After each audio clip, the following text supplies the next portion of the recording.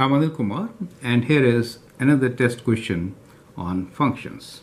The question is express the area of a circle as a function of its circumference. I hope you remember the formula.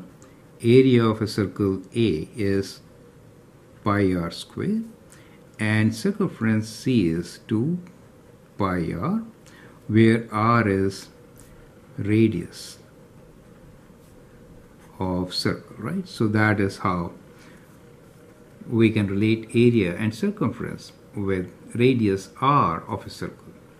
Now the question is, express the area of a circle as a function of its circumference. So we need to find area in terms of circumference, not r. So that is the whole question. So how are you going to do it?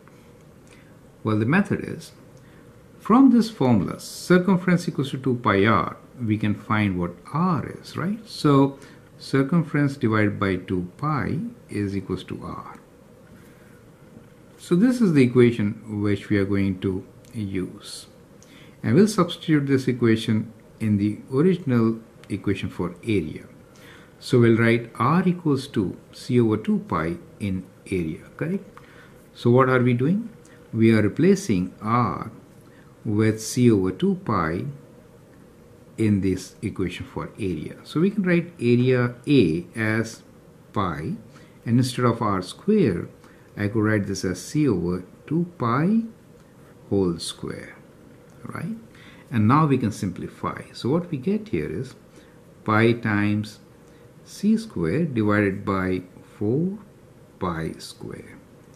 Now pi and pi cancels we are left with area equals to c square divided by 4 pi. Now in this pi is a constant, 4 is a constant, area is in terms of circumference c and therefore we can write area as a function of circumference c equals to c square over 4 pi and that becomes our answer. Alright, so that is the answer. I hope the steps are absolutely clear to you. I'm Anil Kumar.